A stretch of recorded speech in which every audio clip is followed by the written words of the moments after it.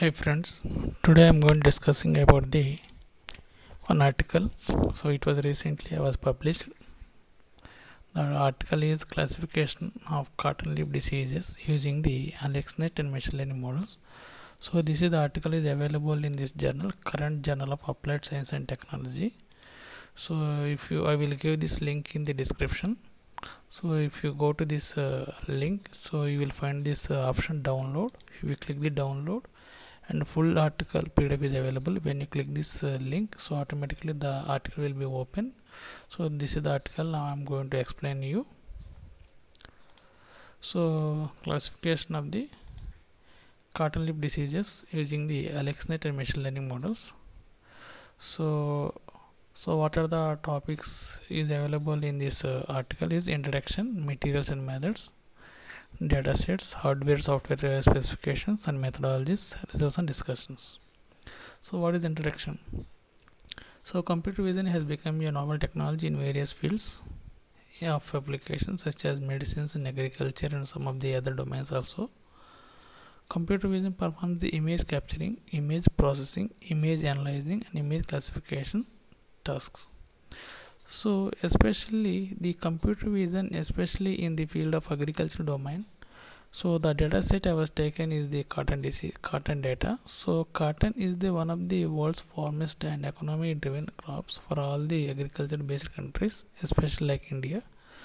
So the reduction in cotton yield cotton yield lead to the high economic loss to the farmers. So smart farming so smart farming is a key role to conduct the diseases incidence at low level, good management strategies and taking preventive measures at right time to reduce the expenses and to increase the production. So materials and methods. So data set. So an open access data set is used for the training and validation validating the AlexNet and machine learning models so here i'm going to apply the i was applied in this article. This is the alexnet. This is the deep learning model and some of the traditional machine learning algorithms. So number of images in each training set and validation set is containing the so 9 1951 images for the used for the training the data training the models. And 324 images are used for the validation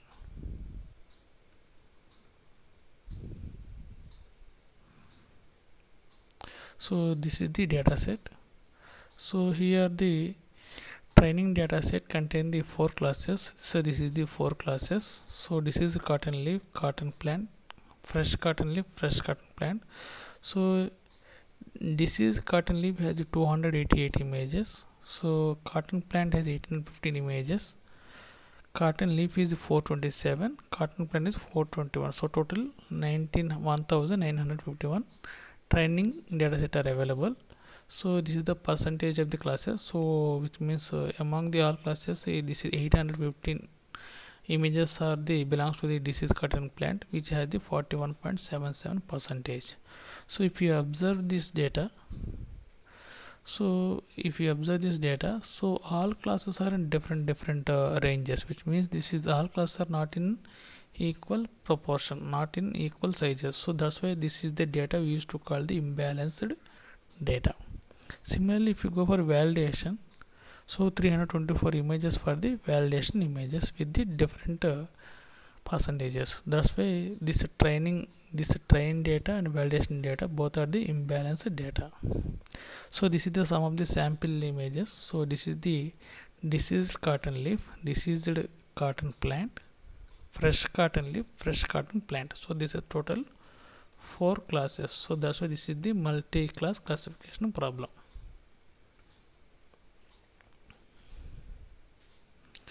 so hardware and software specification so all experiments so for doing this experiment i use this kind of, uh, this is the configuration so my machine system configuration is 16 GB memory RAM 16 GB memory this is the processor CPU so GPU is uh, RTX 2070 8 GB so NVIDIA 8 GB and operating system is Windows 64 bit and I was used the IDE as a Jupyter notebook.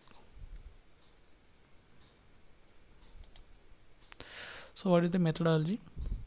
So the research framework has the three important phases. So first phase is the pre-processing, second phase is the feature extraction and third phase is the classification algorithm. So in the first part, so we have to take the input uh, data which means uh, image data. So in the image data we can go forward to the pre-processing. So here the some of the techniques are the label encoding one hot encoding normalizing and resizing. So these are the four operations are performed in the pre-processing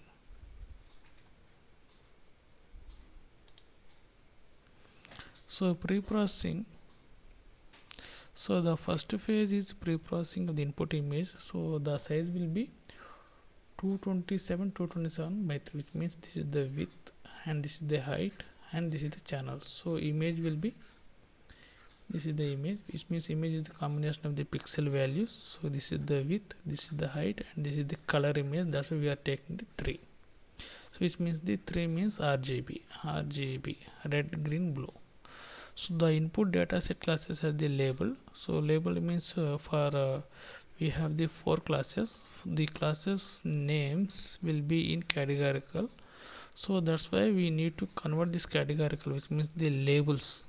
Labels of the classes we need to convert into the label encoding uh, with the help of the label encoding and one hot encoding techniques. So then the pixel values of the images can be normalized between the 0 to 1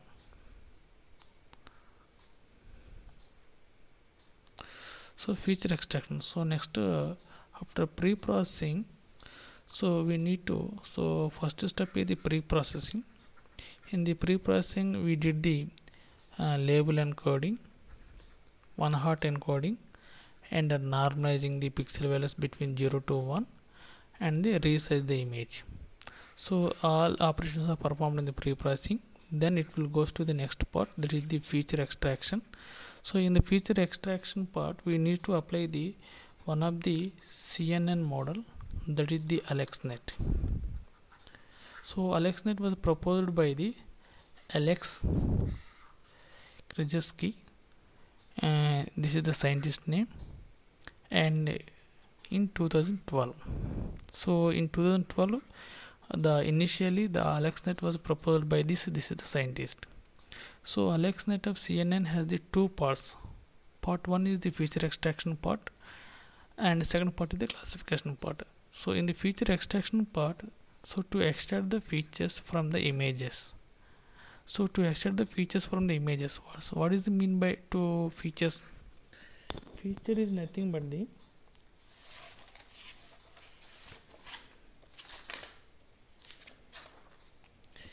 feature is nothing but the say distinct and useful observation or the pattern obtained from the input image. So here CNN learns the features from the input image. So features may be different different uh, uh, properties. So which means every image is a combination of the different properties. So here uh, some of the features are the color shape sizes. So how the system will able to understand the image? So for system image is a group of the pixel values. So and machine learning and deep learning is about to find the relationship among the pixel values of the image. Among the pixel values of the image. For example so this is the image so image is nothing but the combination of the pixel values. So for system can understand the image means that is the group of pixel values. So here machine learning and deep learning to find the relationship among the pixel values to find the relationship among the pixel values of the image. So in the values it will take from 0 to 255 some values will be assigned to this number in this uh, pixels some values are responsible for the shape. Some values are responsible for the color. Some values are responsible for the size. So shape means uh, circle rectangle and uh, diagonal rectangle square square circle. Some of the uh, values pixel values are responsible for the color which means uh, red green blue. Shapes shapes may be small big and medium. So my aim is to separate the each and every property from the input image. So what is my aim? To separate each and every property every property from the input image. So to separate in each property means to separate the dominated features. So my goal is to separate the each color each shape and each size from the image. So so for that purpose we need to apply the some kind of the filter operations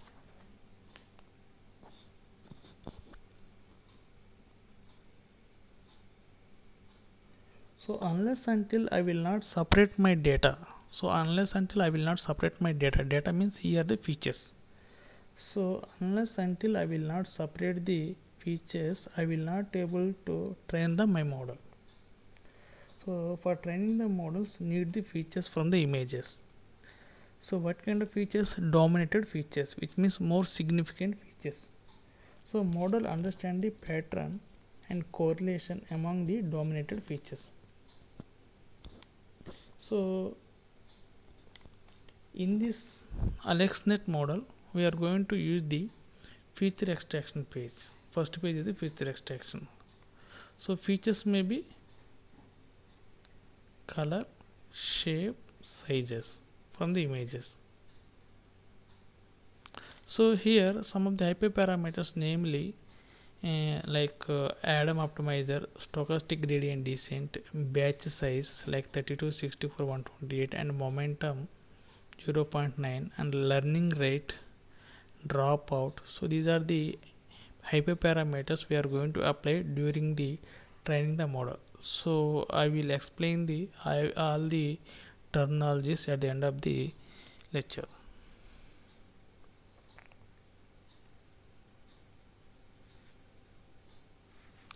So here what are the parameters I was applied here? So deep learning model is AlexNet. Optimizer is stochastic gradient descent and Adam optimizer. So batch sizes will be 32 64 128 momentum 0.9 LR means learning rate. DO means dropout 0.5 so here the structure of the DL model.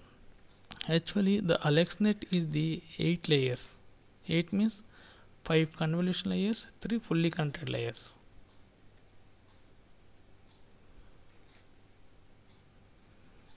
So when I apply the 5 layers so my input image shape will be 227 227 by 3 so when I apply the uh, so 8 layers means 5 convolution layers. So 5 convolution layer C1, C2, C3, C4, C5, 5 convolution layers.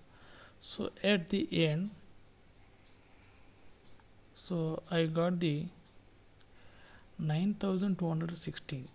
So 9216 features are features are extracted extracted from the images by 5 convolutional layer of AlexNet.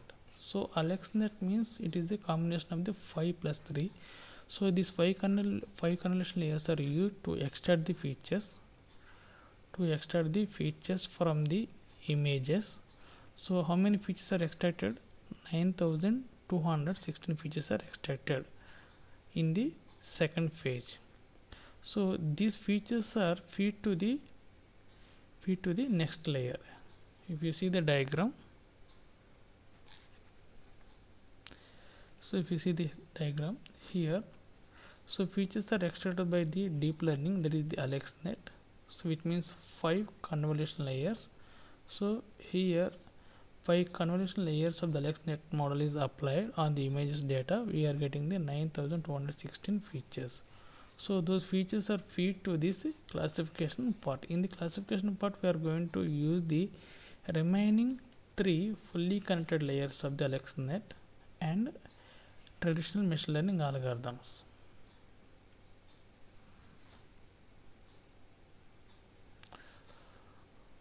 So what is the AlexNet some introduction of the AlexNet so AlexNet is a convolutional neural network that is trained on the more than millions of images from the ImageNet dataset. So it is the 8 layer deep neural network.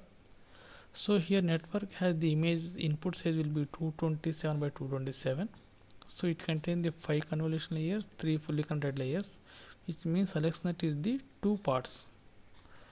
Part 1 is the use for the um, feature extraction purpose feature extraction done by the five convolutional layers. And the second part is the classification part so remaining three fully connected layers fully connected layers are used for the classification purpose. So that's why 5 plus 3 so in the real AlexNet we are uh, first time introduced the ReLU activation function for every fully connected layer. And uh, initially dropout was they also be introduced. So while uh, developing the AlexNet ReLU and dropout so these are the novelty of this AlexNet model. So the highlight of the paper. So if you click this link so paper means uh, this is the base paper of the AlexNet model.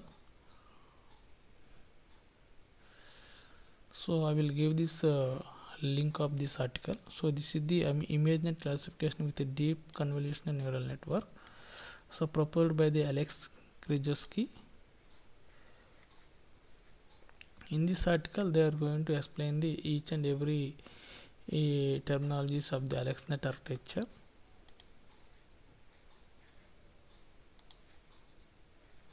So in this paper so they use the ReLU activation function instead of the tanh function. So they are also using dropout layer instead of the regularization to deal with the overfitting problem. So so this is the general AlexNet architecture so in the AlexNet architecture is totally I already discussed. This is the 5 plus 3 which means total 8 layers. So this is the convolution layer. Convolution layer c1 c2 c3 c4 c5 and this is the max pooling 1 max pooling 2 and max pooling 3 and this is the fully connected layer 1 fully connected layer 2 and this is the fully connected layer 3 this is the output layer so this is the total 8 layers.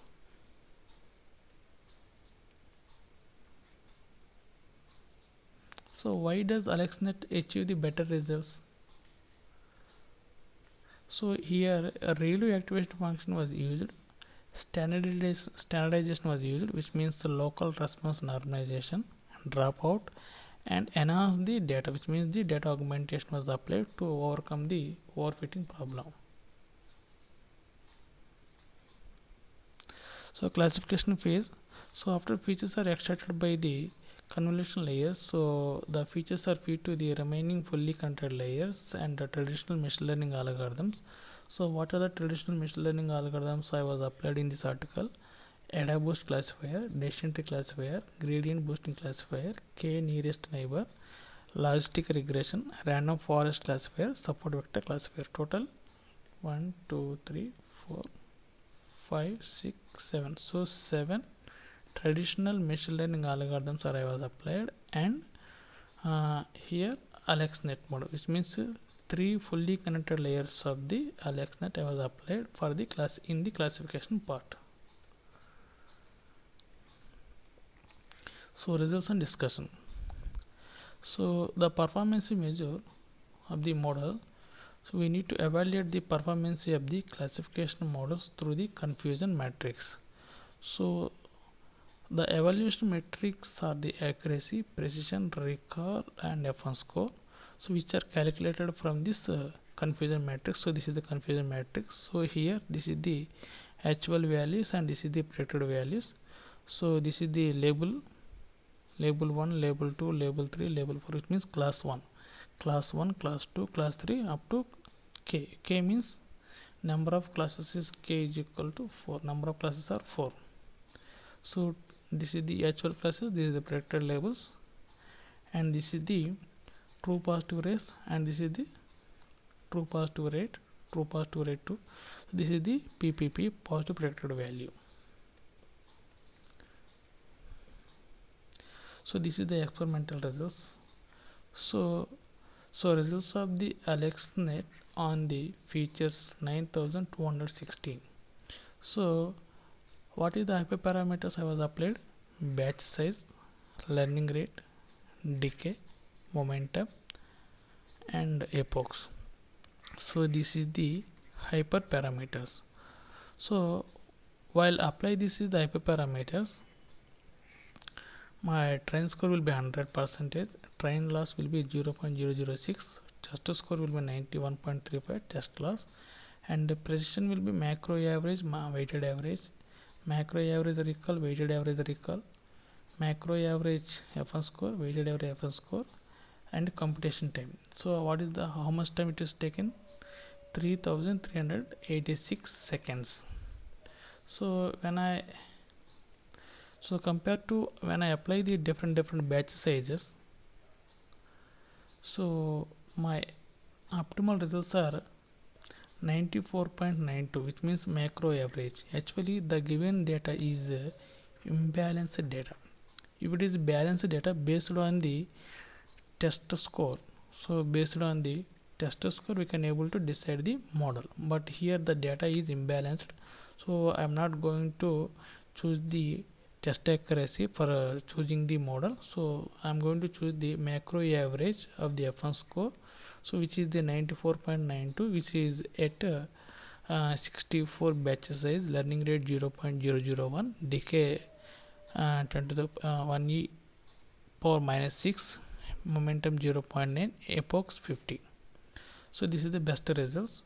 When i apply this is the results of the stochastic stochastic gradient descent optimizer. When you apply the adam optimizer uh, this is the results you got but uh, compared to adam optimizer stochastic gradient results given the best results. So this is the results of the three fully connected layers of the AlexNet now I'm going to apply the traditional machine learning algorithms AdaBoost classifier, decision tree classifier, gradient boosting, k nearest neighbor logistic regression random forest classifier support vector classifier. So here training time is very less. So compared to alexnet alexnet is taking 3053 seconds but here it is taking very less time. Um, but uh, compared to score so the f1 score macro average f1 score is 94.92 given by the alexnet and the rest of the machine learning algorithms only 85.39 is given by the gradient boosting classifier. So rest of the uh, machine learning algorithms are given very uh, less macro average f1 score. So he, here compared to this is the results. I'm going to choose this uh, 94.92 of the macro average f1 score of the alexnet. So this is the model i'm going to choose for the deployment purpose.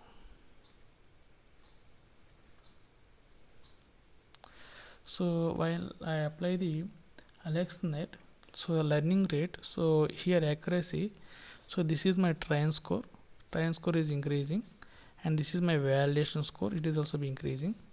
So if you see this loss, so when the epochs are going to increasing, so loss is going to decreasing. So training loss is always be less compared to the validation loss so validation loss is also be down towards to the zero. So the model is the generalized model. It is not a overfitted and underfitted. So this is the confusion matrix of the AlexNet model. So this is the four classes. So this is the class one. This is cotton leaf. This is cotton plant. Fresh cotton leaf fresh cotton plant. So here the actual observations. This is the predicted observations. And this is the uh, confusion matrix of the AlexNet and this is the classification report of the AlexNet if you see for disease cotton leaf total samples are the 55 if you calculate this 54 plus 1 this is equal to 55 so if you cotton disease cotton plant is the 101 which means 98 99 99 plus 2 101 so if 88 means 78 plus 10 88 so this is the test so here the validation results based on the this is the results based on the validation data. So how many validation samples 324 324 are the number of the images in the validation data.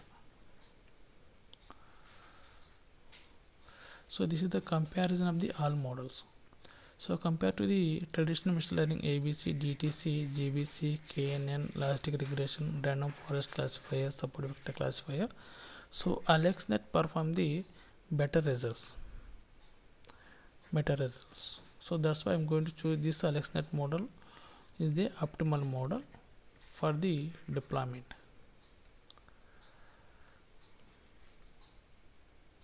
So conclusion. So here the five convolution layers of the AlexNet model is used to extract the features from the images. And those features how many features? 9216 features are feed to the three fully connected layers of the AlexNet and machine learning classification models for classifying the cotton leaf diseases. So among the all models, AlexNet model has given the best results so given the data set is imbalanced data that's why. For imbalanced data so based on the macro f1 score we choose the optimal model for the deployment. So among the all classification models the alexnet model has given the best result of the 94.92 so in the alexnet what are the disadvantages of alexnet? So generally so if you see so kernel sizes of the different kernel sizes are different at each layer like 11 by 11 5 by 5 3 by 3 and also with the depth of the kernels also be different like 96 to 56 384 so with the different types of the kernel sizes of the different types of the depths of the kernel so AlexNet model is not a generalized model. So so this is the problem. So when the model is not generalized so automatically the uh, the problem there is a model will goes to either overfitting or underfitting. So to overcome this kind of uh, problem we as a data scientist to develop the new model that is the VGG model.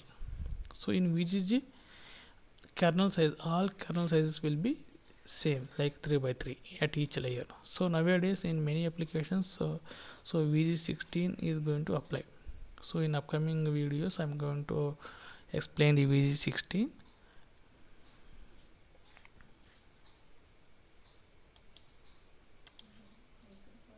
how to solve the overfitting problem. So if the overfitting problems can be solved with the help of the some of the techniques so train the models with the more training data.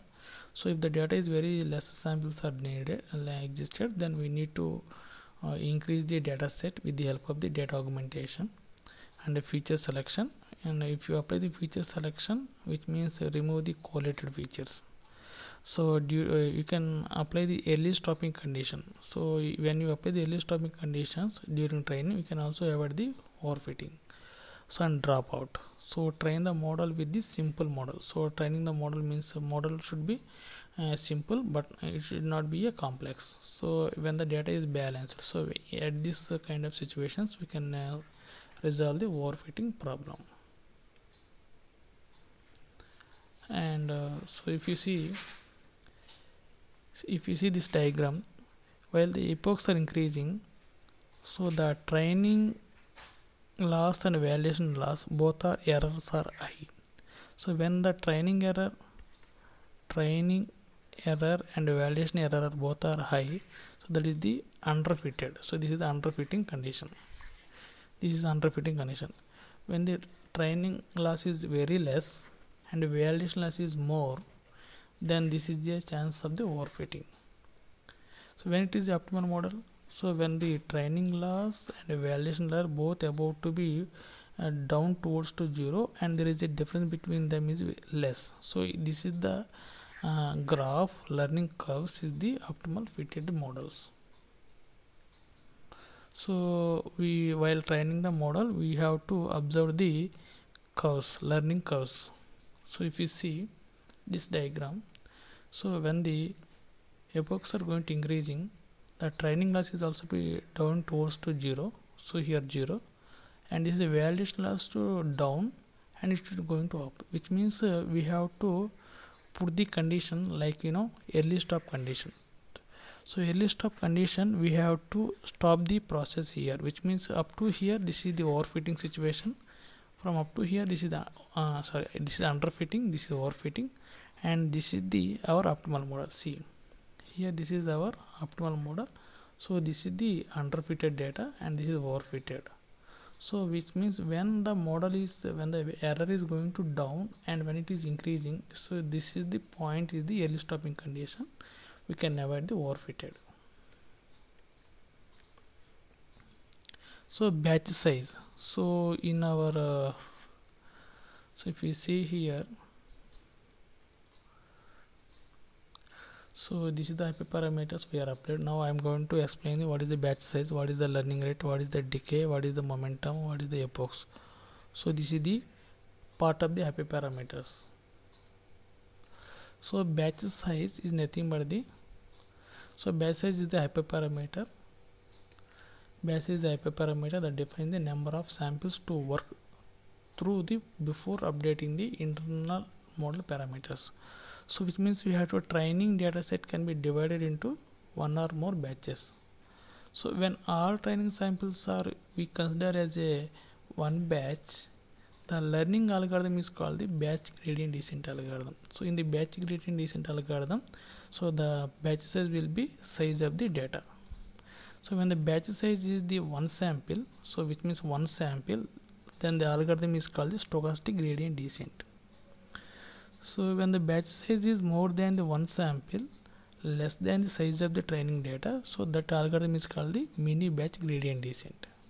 So here the three types of the gradient descent we are going to apply. That is the batch gradient stochastic gradient and mini batch. So which means so when the batch size is size of the training data which means all these training uh, training samples there is the batch gradient stochastic gradient mini batch gradient. So that's why in the case of mini batch gradient descent popular batch sizes will be 32 64 125 that's why in our uh, article i was applied the batch size is the 32 64 128 so we don't know the optimal results given at which batch size. That's why we are going to apply the 32 64 128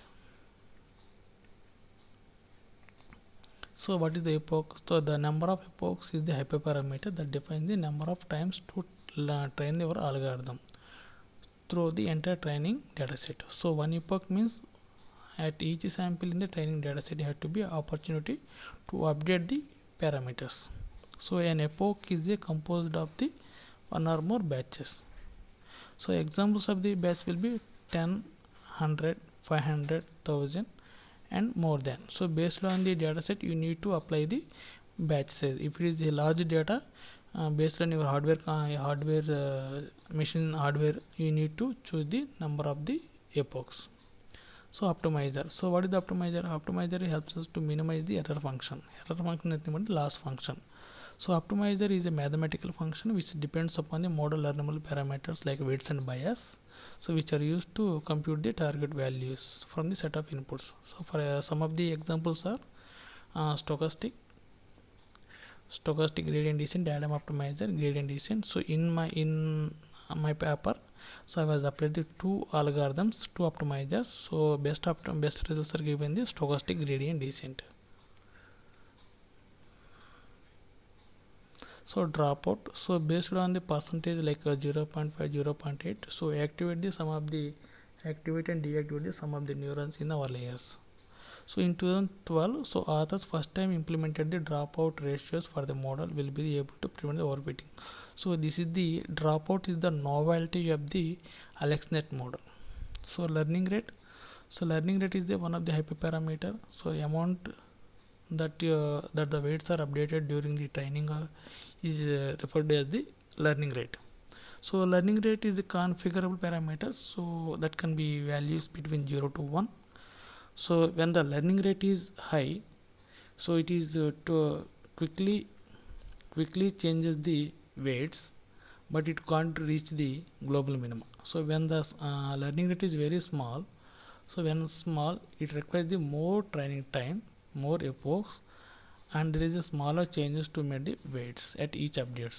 So which means uh, so about the learning rate i was uh, already made a video that is the lecture number 4 so you can watch that video. In this video i clearly explain about the learning rate. Here i'm not going to explain the clearly so momentum. So momentum is the another type of the hyperparameters which means it is a popular technique that is used along the stochastic gradient descent called the momentum. So momentum is a neural network is a variant of the stochastic gradient descent. Momentum is also known as the to, to speed up the learning. And uh, this momentum can helps not getting stuck in the local minimum. So whenever we calculate the new weights how much dependency you are going to consider from the past. So if you are going to create the new weights how much from the past how much you are going to dependencies? That thing you need to consider.